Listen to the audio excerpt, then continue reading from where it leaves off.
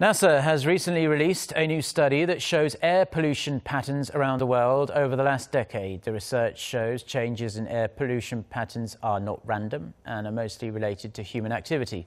Sohn Jung-in has more. Using new high-resolution global satellite maps of air quality indicators, NASA scientists analyzed trends in nitrogen dioxide levels around the world from 2005 to 2014. Nitrogen dioxide is a pollutant emitted by automobiles, power plants, and industrial activity.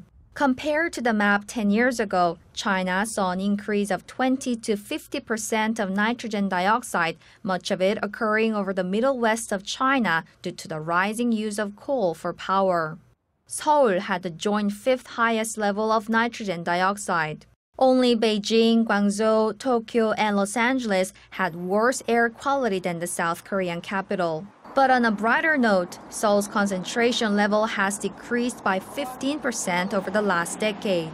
Three major Chinese metropolitan areas, Beijing, Shanghai, and the Pearl River Delta, also saw nitrogen dioxide reductions of as much as 40%. The US and Europe are among the largest emitters of nitrogen dioxide, but both regions showed the most dramatic reductions between 2005 and 2014.